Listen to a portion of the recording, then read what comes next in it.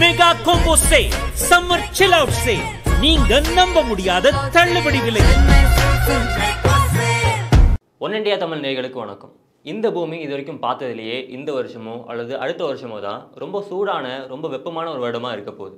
Already வெயில் மண்டையை பழக்குது. இதில் இது வேறையா அப்படின்னு நீங்கள் சொல்கிறது எனக்கு கேட்குது இருந்தாலும் வந்து இதுதான் உண்மை. இதை தான் வந்து ஆராய்ச்சியாளர்கள் வந்து கணிச்சிருக்காங்க.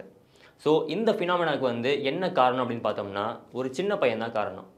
சின்ன பையனா? அதாவது சின்ன பையன் அப்படின்னு நான் சொல்கிறது வந்து எல் நினோ அப்படிங்கிற ஒரு நேச்சுரலான ஒரு வெதர் ஃபினாமினன் அதாவது இயற்கையாக நிகழும் ஒரு கால மாற்றம் இந்த எல் நினோவை ஏன் சின்ன பையன் கூப்பிட்றாங்க அப்படிங்கிறத அப்புறம் சொல்கிறேன் ஸோ இது வந்து ஏன் எப்படி காரணமாகுது அப்படின்னு பார்த்தோம்னா ரெண்டாயிரத்தி பதினஞ்சில் சென்னையில் வெள்ளம் வந்ததுக்கு இந்த எல் நினோ தான் காரணம். இந்த எல்நினோ வந்தால் நாட்டில் வறட்சியும் பஞ்சமும் தலைவிரிச்சாடும் இவ்வளவு பயங்கரமான இந்த எல்லினோ பற்றி நம்ம கண்டிப்பாக தெரிஞ்சுக்கிட்டே ஆகணும் இல்லையா? ஸோ அதனால தான் இந்த வீடியோவில் இந்த எல்லினோ எப்படி வந்து நம்ம வாழ்க்கையை வந்து மாற்றுது அப்படின்னு பார்க்க போகிறோம் இந்த எல்லினோனா என்னன்னு பார்த்தோம்னா இந்த பூமி ஈக்குவேட்டர் கோடால வந்து ரெண்டாக பிரிக்கப்பட்டிருக்கு.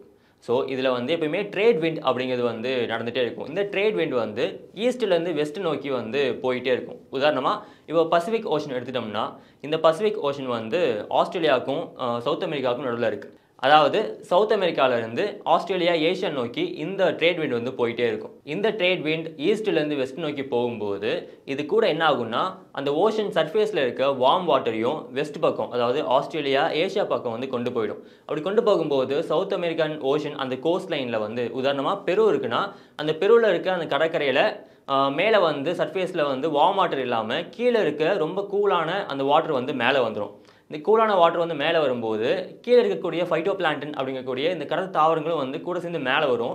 இந்த தாவரங்களை வந்து சாப்பிட்றதுக்கு மீன்களும் வந்து அதிகமாக வரும். ஸோ இந்த கூல் வாட்டர் வந்து மேலே வரதுனால மீன்களோட இனப்பெருக்கம் வந்து ஜாஸ்தியாகும். அங்கே இருக்க மீனவர்களுக்குமே வந்து நல்ல ஒரு மீன்கள் வந்து கிடைக்கும். அவங்களும் வந்து செழிப்பாக இருப்பாங்க. ஸோ இந்த ட்ரேட் வெட் வந்து ஈஸ்ட்லேருந்து வெஸ்ட் நோக்கி இந்த மாதிரி வந்து ரொம்ப நார்மலாக நடந்துகிட்டு இருக்கும். ஆனால் ஒரு ஆறு ஏழு வருஷத்துக்கு ஒரு டைம் வந்து இந்த ஃபினாமினன் வந்து ஸ்டாப் ஆகும். இந்த ட்ரேட் விண்ட் வந்து ஈஸ்ட்லேருந்து வெஸ்ட் நோக்கி போயிட்டே இருக்கிறது வந்து ஒரு கட்டத்தில் வந்து டயர்ட் ஆகி இந்த ட்ரேட் விண்ட் வெஸ்ட்டில் வந்து ஈஸ்ட் நோக்கி போகும். ஸோ இது வந்து ஒரு ஆறு ஏழு வருஷத்துக்கு ஒரு டைம் வந்து நடக்கும். இதுதான் வந்து எல்னினோ ஃபினாமினா வந்து அழைக்கப்படுது. ஸோ ஈஸ்ட்லேருந்து வெஸ்ட் நோக்கி போகும்போது சவுத் அமெரிக்கா அந்த ஓஷனில் இருக்கக்கூடிய வார்ம் வாட்டர்லாம் இங்கே போய் கூலிங் வாட்டர் வந்து மேலே வரும். இந்த ட்ரேட் விண்ட் வெஸ்ட்லேருந்து ஈஸ்ட் நோக்கி போகிறதுனால சவுத் அமெரிக்காவில் இருக்கக்கூடிய மீனவர்கள் மட்டுமே பாதிக்கப்படலை ஒட்டுமொத்த உலகமே பாதிக்கப்படும். ஸோ இந்த ட்ரேட் விண்ட் வந்து இப்போ ஈஸ்ட்லேருந்து வெஸ்ட் நோக்கி போகிறதுனால ஆஃப்ரிக்கன் காண்டினென்ட்டில் வந்து மழை வந்து அதிகமாக பொழியும். ஏன்னா இந்த ட்ரேட் விண்ட் வந்து போகும்போது சும்மா போகாது. மேலே இருக்கக்கூடிய மேகங்களையும் வந்து ஆஃப்ரிக்கா நோக்கி வந்து கொண்டு போகும். அப்படி கொண்டு போகும்போது ஆஃப்ரிக்கா அந்த மலைத்தொடர்கள்லேயே வந்து இந்த மேகங்கள் முட்டி அங்கே வந்து மலை மேகங்கள் வந்து உருவாகும். ஸோ அங்கே வந்து அளவுக்கு அதிகமான மலைகள் வந்து பொழிய ஆரம்பிக்கும். ஸோ இதனால அங்கே வந்து நிறைய வெள்ளம் வந்து ஏற்படும். ஸோ இதனால தான் கடந்த வருடங்களில் அதான் ரெண்டாயிரத்தி பதினாறு பதினேழு வருடங்களில் வந்து அமேசான் காடுகள் முக்கியமாக இந்த ஆஃப்ரிக்கா ஒட்டின அந்த நாடுகளில் வந்து அதிகம் மழை வந்து பெஞ்சு வெள்ளம் வந்து ஏற்பட்டுச்சு. ஸோ ஆஃப்ரிக்காவில் வந்து வெள்ளம் ஏற்படக்கூடிய அதே சமயத்தில் இந்தியா ஏஷியா அந்த இடங்களில் வந்து வறட்சியும் அதிகமான வெயிலும் வந்து இருக்கும். ஸோ இதெல்லாம் தான் இந்த எல்லினோ ஏற்படுத்தக்கூடிய எஃபெக்ட்ஸ் ஸோ எல்லினோ வந்து கடைசியாக எப்போ வந்துச்சுன்னா ரெண்டாயிரத்தி பதினஞ்சாம் வருஷம் வந்து வந்துச்சு. ரெண்டாயிரத்தி பதினஞ்சில் தான் சென்னையில் வெள்ளமும் வந்துச்சு.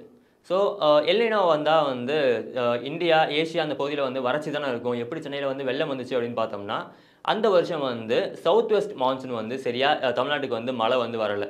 ஆனால் எந்த வருஷம்லாம் சவுத் வெஸ்ட் மான்சூனில் வந்து மழை கம்மியாக இருக்கோ அந்த வருஷம்லாம் நார்த் ஈஸ்ட் மான்சூனில் வந்து மழை அதிகமாக இருக்கும். அதே மாதிரி தான் அந்த வருடம் ரெண்டாயிரத்தி பதினஞ்சில் சவுத் வெஸ்ட் மான்சூன் வந்து அவ்வளோவா மழை வரல.